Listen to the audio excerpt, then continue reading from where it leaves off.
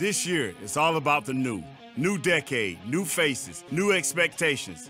And as the Cowboys are on their quest for six, they got the same dream. Where would this team go? There's no limits to what they can accomplish. So, with a fresh perspective and a new direction, the 2020 Dallas Cowboys are determined to find greatness. And it all starts this offseason, right here on The Blitz. It's another edition of The Blitz, the Dallas Cowboys report. Kyle Youmans alongside Nick Eatman as we're in our respective Academy Sports and Outdoor studios as the social distancing continues throughout what has been a wild Cowboys and NFL offseason. And Nick, you've been around this team since 1999.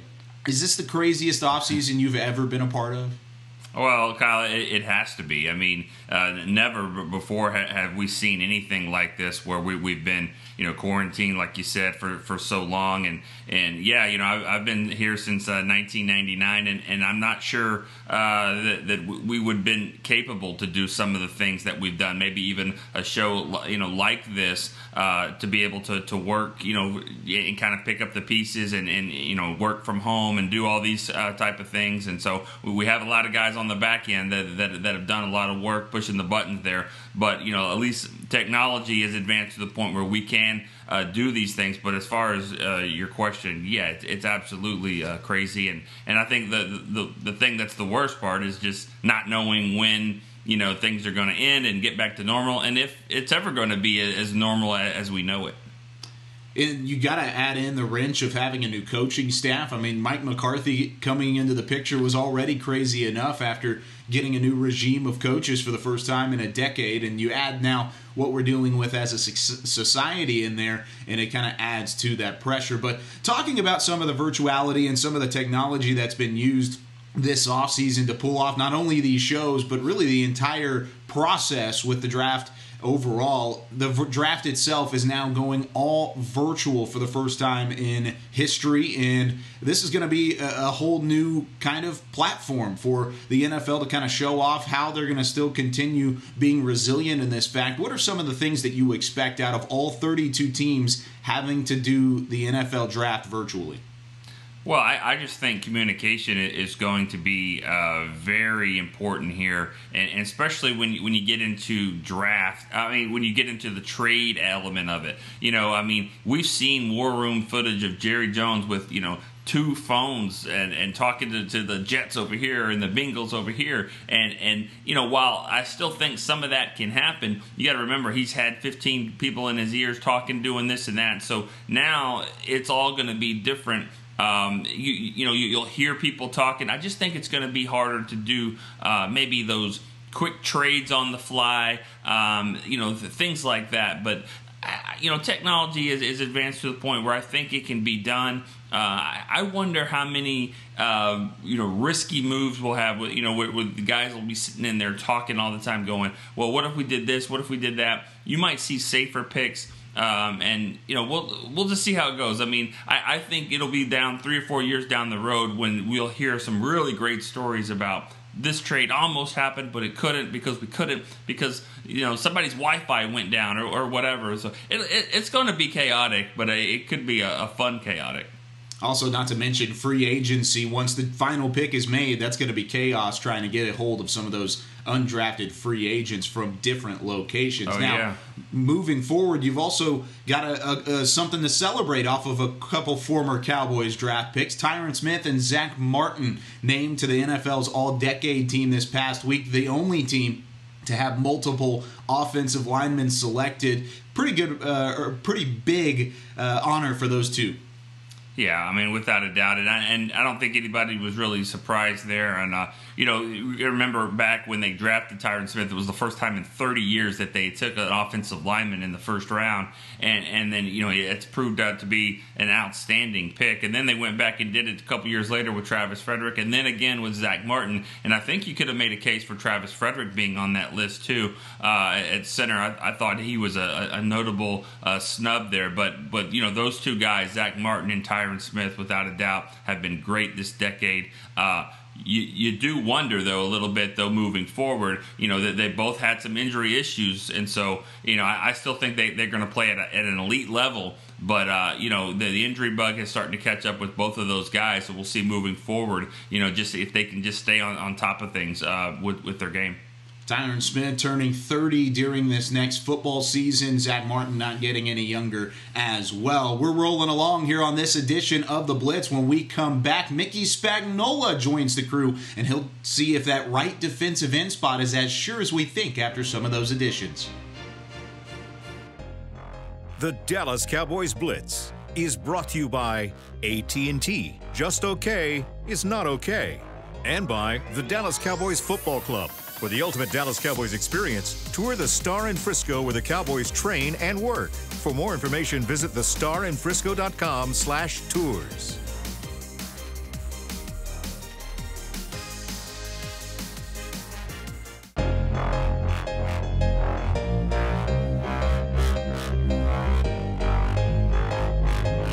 This segment is brought to you by AT&T. Just okay is not okay.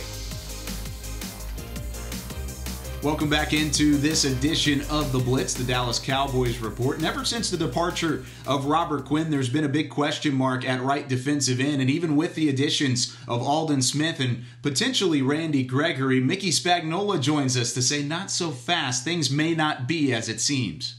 Thanks, guys, and welcome to my shelter in place makeshift office here at home. Thought I'd bring some perspective on this notion that Cowboys might have the surface, services of defensive ends Randy Gregory and Aldon Smith for this 2020 season. Now, the operative word there is might. Remember, both guys are still on the suspended reserve list. Uh, so the Cowboys need for uh, NFL Commissioner Roger Goodell to reinstate them before they get him on the team. And we know how those things sometimes can go. Then let's remember the rust factor. Can't assume they'll be what they once were uh, because it's been a while since they've played any football. Gregory, for example, hasn't played a down of football since December 30th of 2018. Come September, if the season starts on time, that's 20 months ago. And since finishing his rookie year in 2015, he will have just played 16 games since that over the past 56 months. Again, if the uh, season starts in September. That's very few games over a long period down time. So really, who knows uh, what you might get from him? And as for Aldon Smith, let me tell you, he's got even more rust. The one-time first-team All-Pro player in 2012 has not played a down of football since November 15 of 2015. Come September of this year, That'll be 57 months ago. And get this, he's only really played 16 games since December 29 of 2013. That's like six and a half years with only playing 16 ball games. So there's a lot of rust on him. So to me, with those two guys, they're still, uh, because of their status right now and not having played a lot, uh, there's still a need for the Cowboys at right defensive end after losing last year's sack leader Robert Quinn in free agency. You can't really count on those two guys.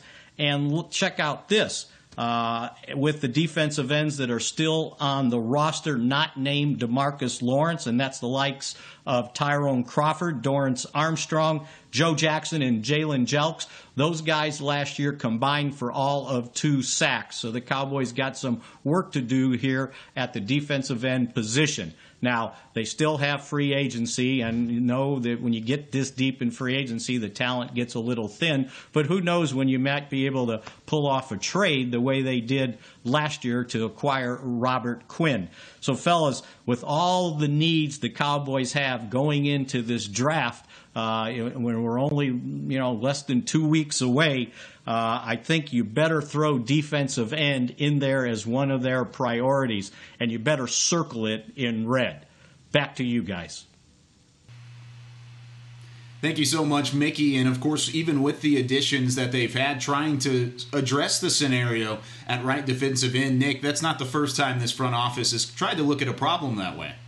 Yeah, mean, if you just go back to last year, uh, you know, they're just throwing stuff at a wall, you know, hoping that, that things stick. Last year, they made a trade for Robert Quinn. They also signed Michael Bennett in the middle of the season, and those moves turned out pretty well. And so I don't know if they're if they're actually counting on, hey, Gregory, Aldon Smith. You look at the tackles, Dontari Poe and, and Gerald McCoy. You're hoping that some of these guys can get a little bit of, of a resurgence the way Quinn and Bennett did last year.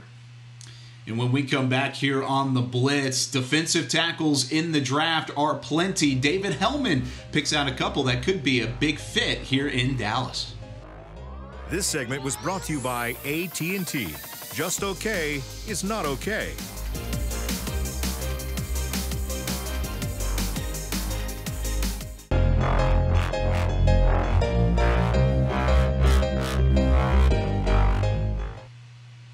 We're rolling along here on this edition of the Blitz. And of course, with the NFL draft less than two weeks away, there's plenty of emphasis on trying to fill some of those needs, especially on the defensive side of the football. Our DallasCowboys.com draft expert, David Helman, tells us about some of those defensive tackles who could be mid round selections for the Cowboys. Thanks, y'all. All right. I want to talk about something that is near and dear to the thoughts of Cowboys draft fans over the last decade or so. What else could that be but the defensive tackle position. Yes, I know the Cowboys signed Gerald McCoy and Dontari Poe in free agency. It does not seem to be the same level of need that it was a month ago, but you never stop looking for talent in the draft, right? And we can go back to the same Cowboy strategy that we've gotten familiar with over the last few years.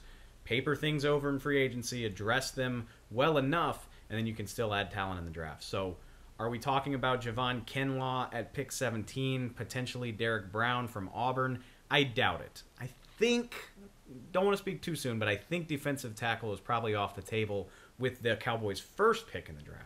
But what about later on in the draft? What about a chance to add talent down the line, looking at day two, day three? I think there's some really intriguing talents there that they could take a look at. And lo and behold, it's backed up by what they're doing. Thanks to the Cowboys front office, we're starting to get a look at players that they're interested in on these telecalls, on these video conferences.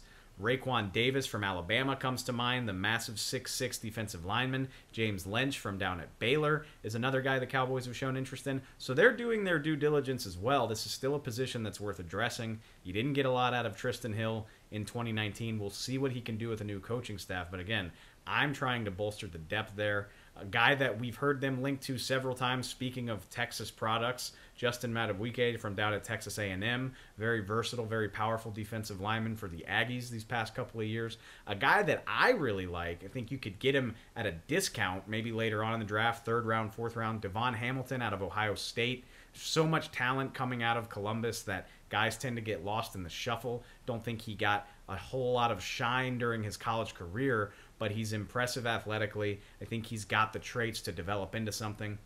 Throw one more name out there for you. This is probably a higher pick. You might have to take him with your number 51 overall, your second round pick. But Jordan Elliott out of Missouri, I love his versatility. I think he could play one technique or three technique in a 4 3. I think he could even do some 3 4 work, depending on what you want to do with him. Know the Cowboys, people have talked about them potentially making that switch. I don't know if I buy that, but I'm all about getting versatile guys who can do a little bit of everything. That's what Dontari Poe is. He's played zero technique in a 3 4. He's also played one technique in a 4 3.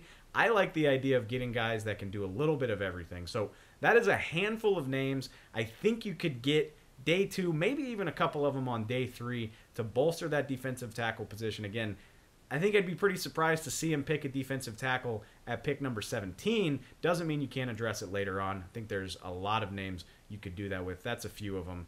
Back to y'all. Thanks so much.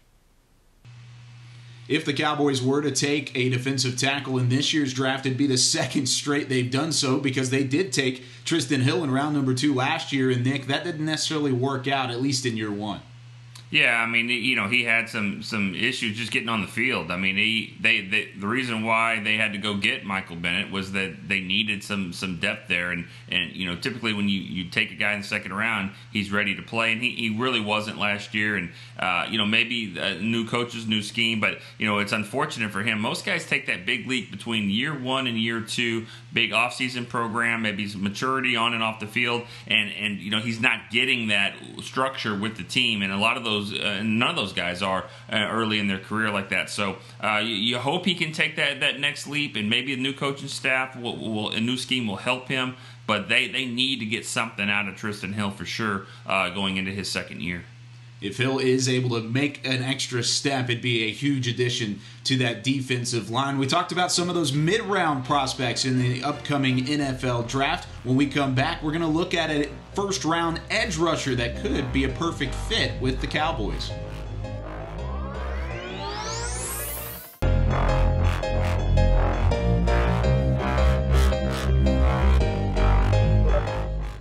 Great to be here with you. And this is your interview to to be a Dallas Cowboy, what, what, what do you want us to walk away from this interview with as the most important thing you want us to know about you? You, you talk to us about your love of the game.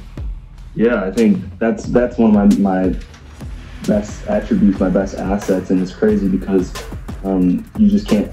It's not even taught, and it's it's come from the heart, and that shows my love love for the game in, in itself. If someone were to give you a compliment as a football player, not as a person, but just as a football player, what would that compliment say? Your motor is unlike any other. Good answer. One of the many virtual interviews that the Dallas Cowboys coaching staff and front office have had with these NFL draft prospects. Zack Baun out of Wisconsin, an edge rusher that could fit in a 4 3 or a 3 4, which may make him a perfect fit and a high motor that could come play in Dallas. Badgers bring the pressure. Herbert back, pedaling, flushed. Pump fake, but a long way to go and will not make the first down. Stopped at the 32 by Zack Baun. Zack Baun is the next up on a long list of talented linebackers from Wisconsin to enter the NFL. Just being from Wisconsin and the development program that I've had throughout my journey has really helped uh, the maturity. As I matured on the field, I matured off the field as well. Credit to Wisconsin for teaching me the values and um, to work hard, to be driven, um, to be dependable. That dependability has skyrocketed Baun up draft boards, and if he were to be selected in the first round, it would be the first day one Badger pick since TJ Watt in 2017. Much like Watt, Baun relies on life lessons from his family off the field to translate to his play on it. Yeah, I mean, I have five other brothers and sisters. Was four. We recently added a new one through the adoption system. But um, just having that that many brothers and sisters with a single mom, um, you really have to rely and, and, and, trust and work together. So I feel like those values um, will continue with me forever. As a ball player, the Brown Deer, Wisconsin native can do it all. A high school quarterback who made the switch just prior to arriving in Madison and has picked up the position remarkably well. One of the teams uh, uh, identified me as like the toy. I kind of all can do it all linebacker, um, giving me the opportunity to rush the edge, play off the ball, um, drop into coverage, use use all my, my skill set to the fullest. Though he may be a late riser in the draft process, it's no surprise to Baun, who has worked toward that draft day moment his entire life. I can believe I'm here with my, my attitude and my my um, my driven my driven purpose, and I feel like everything in my life has kind of been a, a risk. I was taking a risk transferring to Brown Deer, taking a risk playing quarterback, taking a risk um, playing outside linebacker, which I never even played defense in my life. But um, I knew with my hard work and my, my tenacity and willingness to get after it and, and be the best at whatever I'm doing, it's a true competitive edge that's that's helped me throughout.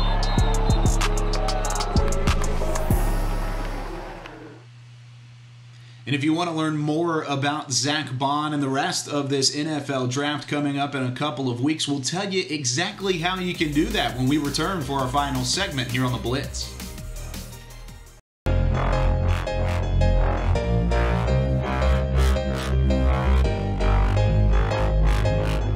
Dallas Cowboys Blitz was brought to you by AT&T. Just okay is not okay.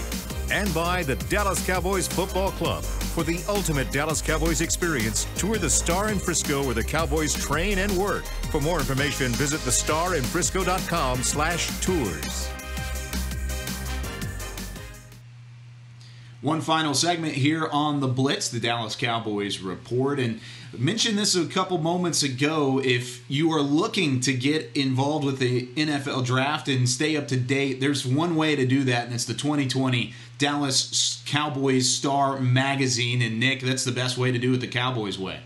Yeah, without a doubt, it, has been really good to, to, you know get you involved this year on, on the draft uh, magazine. I think this year we, we changed it up a little bit, a little bit more fun facts and tidbits in there. A lot of history there, a lot of players we, we talked about. You know, on the cover there, you see uh, you see some some players that could be a fit at 17. You also see a couple of 17s, uh, Mel Renfro, Emmitt Smith. So they've struck gold in the past at 17.